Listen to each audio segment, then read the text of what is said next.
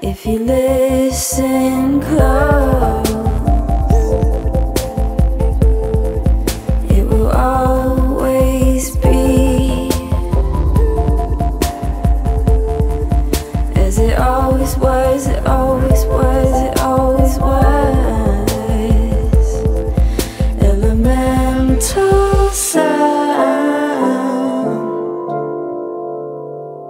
running all day.